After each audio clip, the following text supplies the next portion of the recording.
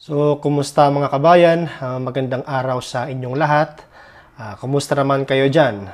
So, ayan na nga, kung maalala nyo, ah, naggawa tayo ng reaction videos doon nga sa isang video nga ni Idol na merong isang kabayan natin na mayroong karelasyon na Amerikano na kung saan siya ay ah, nangikil ng 25 million pesos sa kanya. Ah, ang nakakalungkot lang, ah, siya ay binawian na ng buhay.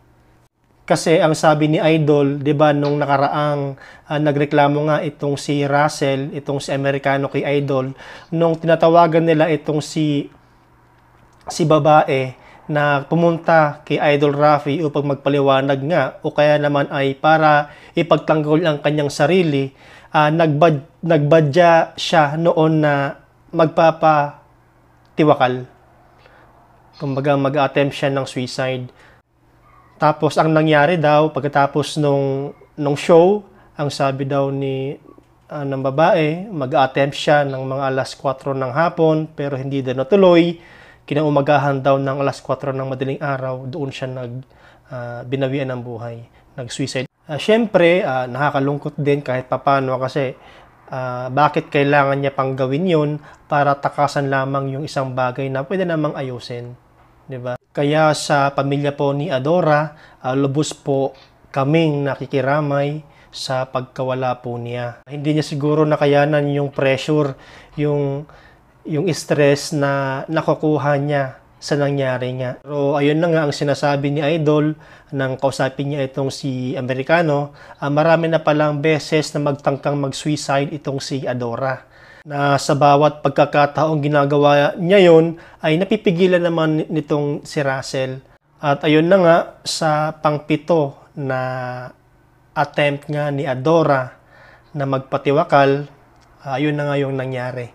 Hindi na napigilan ni Russell. Tapos ang nangyayari pa, ah, siya ang sinisisi sa lahat ng nangyari. 'Di ba?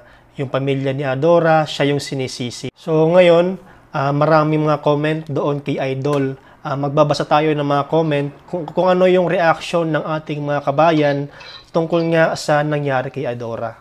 Basahin natin yung mga ilang comment guys.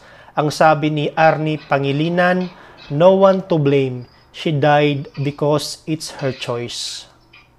Ang sabi naman ni Marites David, Why are they blaming the man? It's not his fault.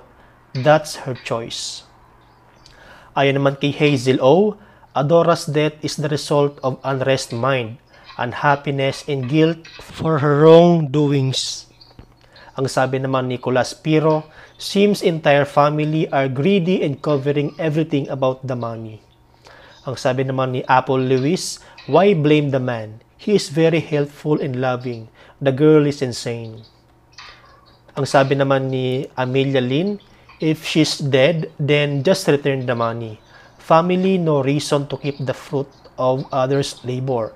Return the fruit of his labor. Ang sabi naman ni Nimias Channel TV, to save the money for the kids' future, she need to kill herself. That's what it's all about. Ang sabi naman ni Josephine Cortez, feel guilty. That's why she kills herself, but it's not enough to pay herself uh, for what she did. Ang sabi naman ni Mary Grace Cavitana, the time when Russell starts to speak, his feelings, I almost cry. Ang sabi naman ni Mamdra Abdul uh, Princess Nor, when Russell is talking, I feel so sad. Sabi naman ni Grace Padilla, I cried when he's talking and I see him so much tired. I feel sorry to his man. Be strong, Sir Russell. Ang sabi naman ni Neddy Bautista, nobody blame only herself. It's her choice. I pity to this man so such a good heart.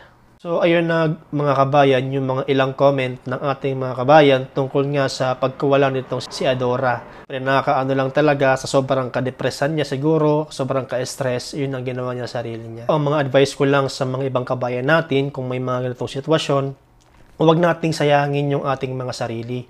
Huwag nating sayangin yung ating buhay. At para naman makaiwas sa mga ganitong klaseng problema, huwag tayong manloko ng ibang tao. Huwag tayong uh, manggamit. Huwag tayong mangikil ng pera sa ibang tao para lamang sa ating sariling kapakanan. Di ba? Uh, hanggang doon na lang muna tayo. Ah, maraming salamat sa inyong panonood. Tapos mamaya ulit, ah, gagawa ulit ako ng reaction videos para sa ibang video ni Idol Rafi Tulfo. Ah, maraming salamat mga kabayan at wag niyo wag niyong kalimutang mag-subscribe sa aking channel para sa mga bagong videos. Maraming salamat mga kabayan. Peace.